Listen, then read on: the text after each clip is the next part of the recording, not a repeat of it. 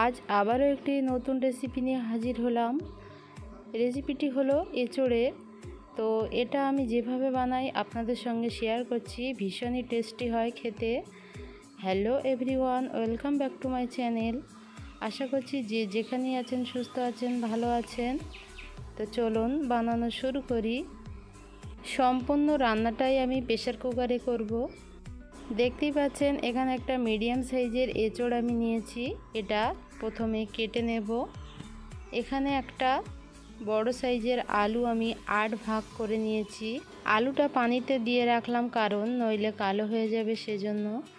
তো এঁচড়টা কেটে ধুয়ে লবণ এবং হলুদ দিয়ে দশ মিনিট মতো ভিজিয়ে রাখব এবং তারপর ভেজে নেব। এখানে আমি পাঁচশো গ্রাম গরুর মাংস নিয়েছি। আপনারা চাইলে এখানে খাসির মাংস নিতে পারেন। এটা হাড় ছাড়া শুধু চর্বি এবং মাংস। এঁচড় এবং মাংসটা রান্নার জন্য আমি একটা মশলা তৈরি করে নেব। নিয়েছি অর্ধেক পেঁয়াজ, দুটো শুকনো লঙ্কা, একটা মিডিয়াম সাইজের লাল টমেটো আর এক চা চামচ গোটা জিরে, দশ থেকে বারোটা কালো গোলমরিচ আর পরিমাণ মতো আদা এবং পরিমাণ মতো রসুন। এটা ভালোভাবে মিহি পেস্ট বানিয়ে নেব। আমি যে এই বাটা মশলাটা এঁচড় এবং মাংসের মধ্যে ব্যবহার করব, এটা কিন্তু দারুণ একটা গ্রেভি তৈরি করবে আর খেতে অনেক বেশি টেস্টি হবে। তো মূল রান্নাতে চলে যাই। তো প্রথমে একটা প্রেশার কুকার বসিয়ে প্রেশার কুকারটা গরম হলে দিয়ে দেব রান্নার তেল। তেলটা গরম হলে দুটো দারচিনি দিয়ে দেব আর চারটে এলাচ মাথা ফাটিয়ে দিয়ে দেব।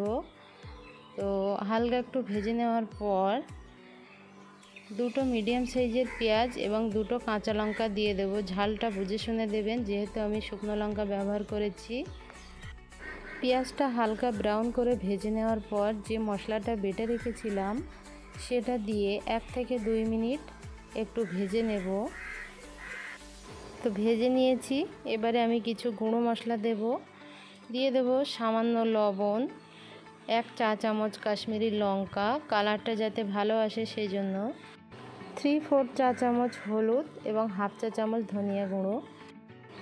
ভালোভাবে নেড়ে চেড়ে এই পর্যায়ে আমি অল্প একটু পানি দিয়ে মশলাটা খুব সুন্দরভাবে দুই থেকে তিন মিনিট ধরে কষিয়ে নেব, যাতে করে সম্পূর্ণ তেলটা উপরে ভেসে ওঠে।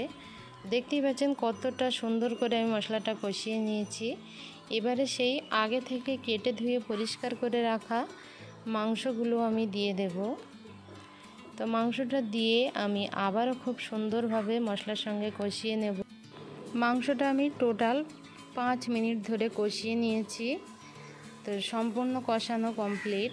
এবারে সেই আগে থেকে ভেজে রাখা আলু এবং এঁচড়গুলো প্রেশার কুকারে মাংসের মধ্যে ঢেলে দেব, দিয়ে আবারও দুই থেকে তিন মিনিট একটু ভালোভাবে কষিয়ে নেব। এক্ষেত্রে চুলার জালটা একদম মিডিয়াম টু লোয়ের মাঝামাঝি রাখবেন। কষানো সম্পূর্ণ কমপ্লিট। এবারে আমি পানি দিয়ে দেব পরিমাণ মতো। যেহেতু আমি একদম ঝোল রাখব না মাখা মাখা টাইপের করব, সেজন্য পরিমাণ মতো পানি দিয়ে প্রেশার কুকারের ঢাকনাটা লাগিয়ে আমি দুটো সিটি দেব। প্রেশার কুকারটা একটু ঠান্ডা হওয়ার পর ঢাকনাটা খুলে আমি দেখছি। তো দিয়ে দেব হাফ চা চামচ মতো গরম মশলা। এটা দিলে সুন্দর একটা ফ্লেভার আসে। গরম মশলাটা দেওয়ার পর চুলার জাল আবারও অন করে দুই থেকে তিন মিনিট আমি ঢাকনা ছাড়াই রান্না করে নেব। এতে করে প্রেশার কুকারের যে একটা এক্সট্রা ভাপ থাকে, তো সেটা চলে যাবে আর খেতেও অনেক বেশি মজার হবে। তো তাহলে চলুন ফিরে আসছি দুই থেকে তিন মিনিট পর। তো সম্পূর্ণ রান্না আমার কমপ্লিট। তো দেখতেই পাচ্ছেন কতটা ইয়ামি হয়েছে। সামান্য কিছু গরুর মাংস দিয়ে এইভাবে এঁচড় রান্না করে বাড়িতে একবার খেয়ে দেখবেন। তো আজকের রেসিপি কেমন লাগল আপনাদের কাছে অবশ্যই কিন্তু কমেন্ট করে জানাবেন। যদি ভালো লাগে চ্যানেলটা সাবস্ক্রাইব করে নিয়মিত পাশে থাকবেন। তো দেখা হচ্ছে আবারও নতুন কোনো রেসিপির সঙ্গে। সে পর্যন্ত আপনারা সবাই খুব খুব ভালো থাকবেন। আল্লাহ হাফেজ।